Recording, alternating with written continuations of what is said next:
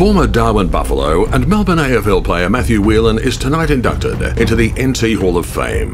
Matthew had an outstanding junior career, playing in the Darwin Buffaloes 1996-97 Senior Colts Premiership and taking the Club Best and Fairest Award after winning the Hunter Harrison Medal playing for the NTFL against an Alice Springs-based CAFL side at under 15 level. A junior representative player at secondary level 1995 and three times in the Teal Cup 1995, 96 and 97.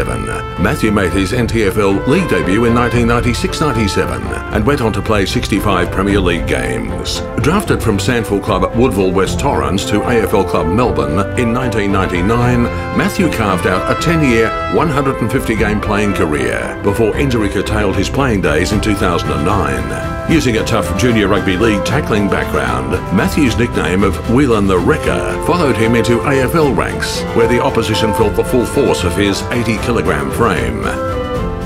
A nephew of champion Palmerston Hall of Fame member Warren McCoy, Matthew earned selection in the 2003 and 2005 Indigenous All-Stars, which defeated Carlton and the Western Bulldogs respectively.